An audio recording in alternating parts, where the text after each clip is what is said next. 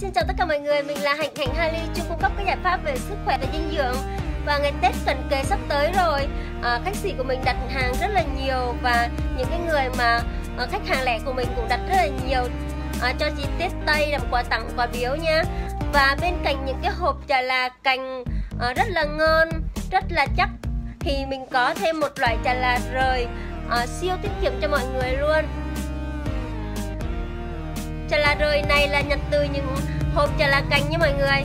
Thì mọi người yên tâm về chất lượng này được chọn lựa rất là kỳ càng và khô dẻo rất là ngon nha. Và rất là thơm luôn.